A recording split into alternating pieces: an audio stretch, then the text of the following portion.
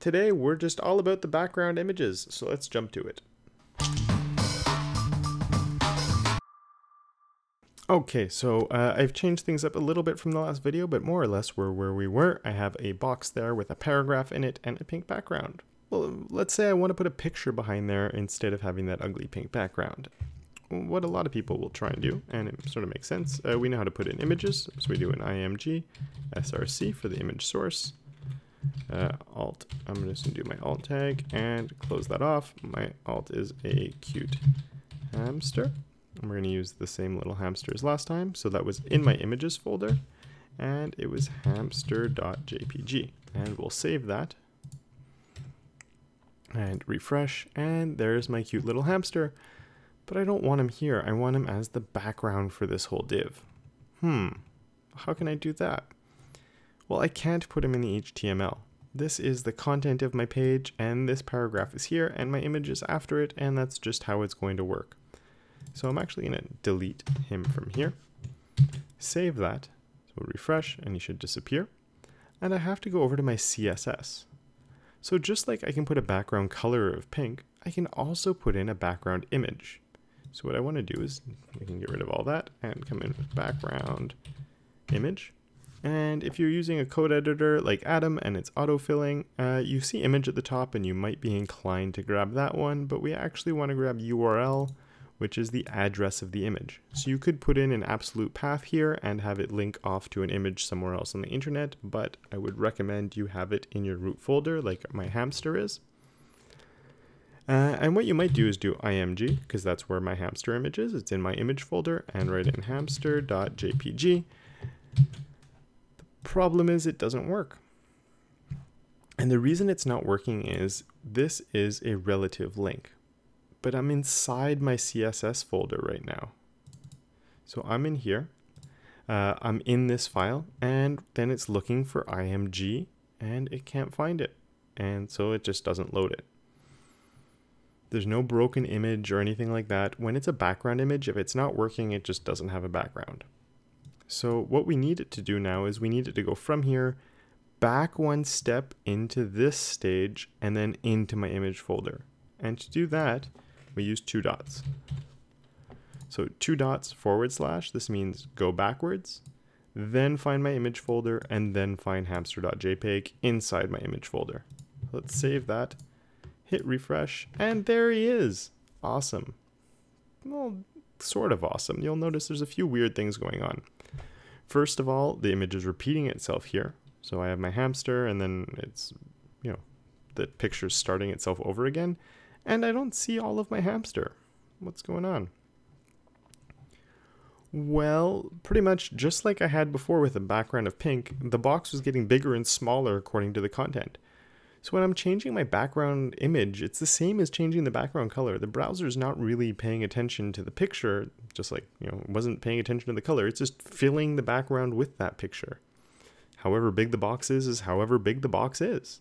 So uh, I mentioned in the CSS box model video that if I want more background, I can add more padding. Uh, in this case, let's do 200 top and bottom, but keep 100 pixels on the left and right. So if I save that, well, I start seeing more of my hamster, and well, now I have too much of my hamster again. This background is repeating all over the place. So I do have a few options here. Uh, I do have a background repeat option, and with the background repeat, we do get some options. I get no repeat, which sort of does what it you'd expect it to. Do, it stops it from repeating itself. We have uh, repeat. We have repeat x. So it's repeating only on the x-axis, so only across this way, or we have repeat y. Whoops, that should be lowercase. Save. And now it's only repeating up and down. With some images, repeat x and repeat y are what you want, and it will work well because you want a repeating pattern across the top. There's lots of good websites out there that have um, background patterns that you can use that are meant to be repeated and they repeat themselves all over the place. In fact, why don't we go get one of those right now? Subtle Patterns is a very nice site. I highly recommend it. I'm going to put a link down in the description below if you're looking for it. And I'm going to find something that works for my site. Uh, this has sort of the same color. Why don't we try that one out? So I'm going to hit download. It gives me a zip file. I want to take, open up there. It usually gives us a PNG. So I'm going to grab that and just drag it off into my image folder. And so I have that file in there. So why don't we come up and put that on our body? Uh, so instead of having a background color, or I can keep that and I can do background image. Remember it's URL. So I want to go backwards a step. I want to go into my image folder and I think it was weather.png. I'll save that and hit refresh. And there we go. It works. I can see those repeating pattern and it's a it's a pattern that's meant to be repeated so I shouldn't get any awkward lines like this. It should just be this nice background image that's filling up the whole page. Now I've kept my background color and my background image. By doing this is, I saw before, if my background image doesn't load, it just pretends it wasn't there. If I have a background color, it will fall back to that background color. And because these are super similar to each other, it's a pretty nice fallback. So there's no problem uh, in having a color and an image, uh, and it might actually be a good thing just in case the image doesn't load for one reason or another. But with this hamster, uh, this whole repeating background pattern thing isn't working, and the background repeat none isn't really working either. It's cutting off, you know, it's, it's just not looking so good. Uh, so we have a few other options. So let's come in with background, and you'll also notice we have a few things here. Uh, one of them is background size. And for this video, it's the last one we're going to look at. Auto is the default, so it's one of the options we have. Contain is another one. So let's try out contain and save it. Contain's a bit of a weird one. Um, it's going to fill the whole space up. So it's going to, it will stretch your image in proportion. So it won't make your image flat or fatter or anything like that. It's going to keep it in proportion, but it will, um, it's going to make sure I see the entire image. So it's I see my whole picture. It's going to make the whole picture fit one time on there, but if there is any empty space, it will keep repeating it. The other one that's in there is cover. And if I use cover, I will lose a little bit of my image. And on this one, we don't actually notice it right now. I'm going to change things up so we do. Cover, personally, I love uh, for when you have pictures like this that you want as a background. And the reason the cover works so well is it's going to cover the entire div or whatever you're putting a background image on with your picture. And it's going to make sure that the image is growing or shrinking proportionally. And it's not going to repeat itself because it's just going to use that one image without repeating to fill up the whole space. This can get a little weird though. Let's just say I make my padding top and bottom 800 pixels, which hopefully isn't a realistic scenario. Oh, that was left and right, uh, but that's okay.